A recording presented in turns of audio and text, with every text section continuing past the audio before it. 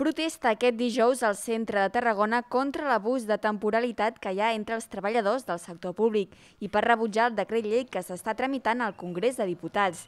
Exigeixen l'estabilitat de personal tant interí com temporal de les administracions públiques, especialment dels sectors més afectats com el d'ensenyament i sanitat. A Tarragona s'han concentrat a la Rambla Nova i s'han dirigit als serveis territorials d'educació i al CAP Muralles. La vaga està convocada per la taula sindical de Catalunya a diverses ciutats de tot el territori català.